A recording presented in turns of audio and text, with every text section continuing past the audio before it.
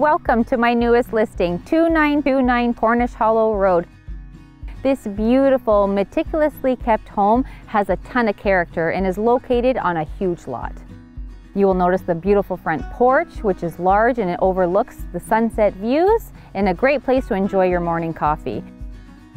As you enter, you will notice the character that can be found throughout the home. A large kitchen and a large family room to enjoy cozy evenings by the wood fireplace.